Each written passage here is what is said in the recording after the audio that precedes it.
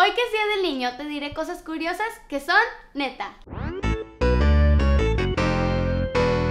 Un estudio de la Universidad de Londres explicó que un niño de 2 años puede hacer hasta 500 preguntas al día. Así que si tu hermano o hermana pregunta menos, no te quejes. De acuerdo con un blog especializado en niños, el 12% de los niños en el mundo son zurdos.